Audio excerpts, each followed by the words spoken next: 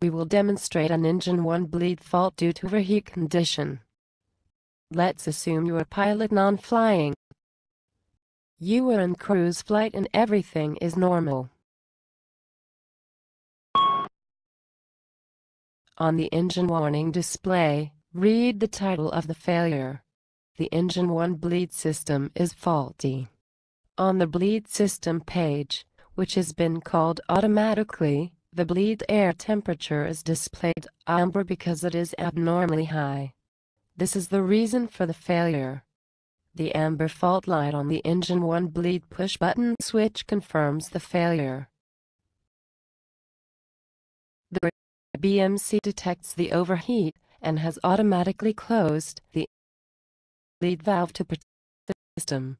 It leads to an abnormal bleed configuration, as displayed on the engine warning display.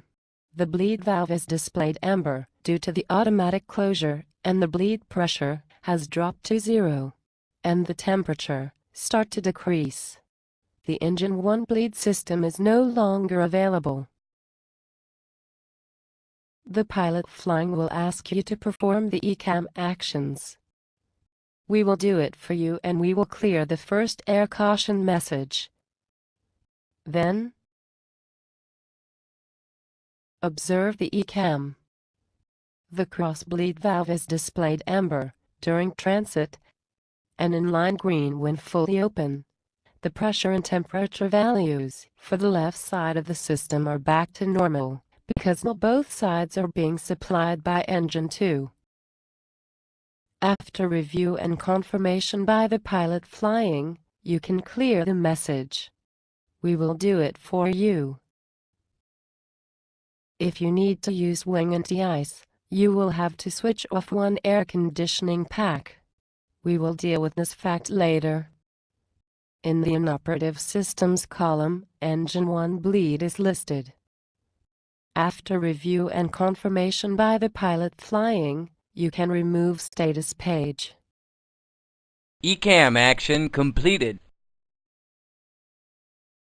Now we will see what happens if you have to use wing anti-ice with the engine 1 bleed still inoperative. Let us assume you encounter icing conditions during the remaining part of your flight and you decide to switch on your wing anti-ice. We will do it for you. The engine 1 bleed fault procedure is automatically recalled on the engine warning display.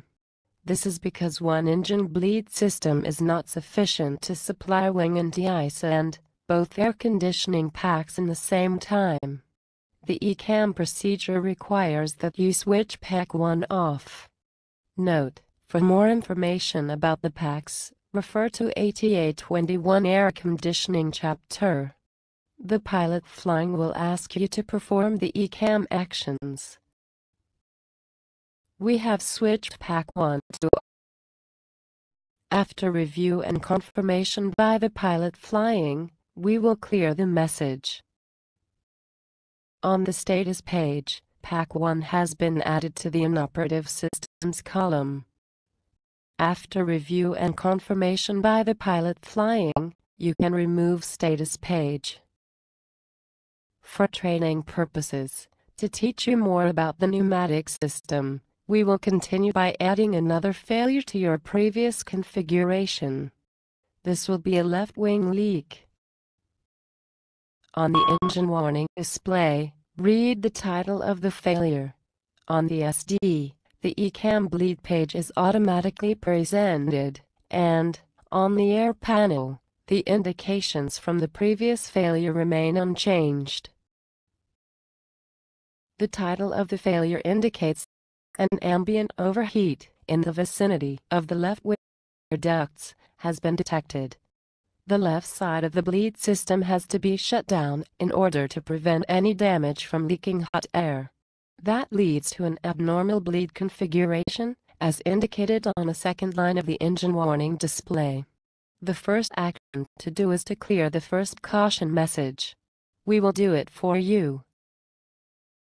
The first line of the ECAM procedure requires you to switch the cross bleed selector to the close position. With the selector in auto position, the cross bleed valve would have been closed automatically but remember, you have opened it manually in the previous procedure. The pilot flying will ask you to perform the ECAM actions. We have set the cross bleed selector to close for you. Observe the indications. The cross bleed valve closes. The pressure of bleed system 1 returns to zero, and, since there is no hot air supplied, the left wing anti-ice valve indication becomes amber. For additional information, refer to ATA 30, Ice and Rain Protection chapter. We will do the next step of the procedure for you. The wing anti-ice was switched off because you do not want to de-ice one wing only. The ECAM advises you to avoid icing conditions for the remaining part of the flight. After review and confirmation from the pilot flying, you can clear the message. We will do it for you. The status page also informs you that you have to avoid icing conditions. The wing anti-ice and APU bleed have been added to the inoperative systems column. The engine 1 bleed and pack 1 remain from the previous failure. After review and confirmation from the pilot flying, you can remove status page. We will now briefly look at several abnormals without performing the procedures to see the remaining indications of the pneumatic system. In normal operation, when you use APU bleed, the cross bleed valve automatically opens. If it fails to open, an ECAM caution is triggered and the cross bleed valve is displayed cross-line amber to indicate disagreement.